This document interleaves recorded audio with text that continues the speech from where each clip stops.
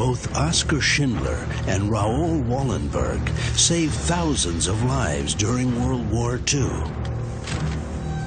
Who was Raoul Wallenberg? They were called the Sonderkommando, Adolf Eichmann's private staff of killers. As the Nazis faced an imminent defeat, the Sonderkommando raced the clock in search of one final glory. Raoul Wallenberg was a compassionate man. Unarmed, untrained, and outnumbered.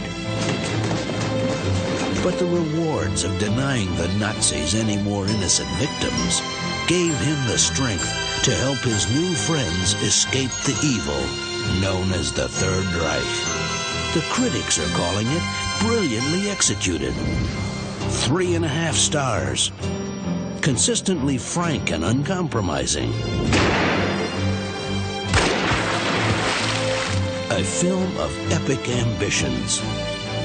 From Fox Lorber Home Video comes the incredible story of Raoul Wallenberg, a true unsung hero a man who couldn't face the making of history without trying to change it. Good evening, Mr. Wallenberg.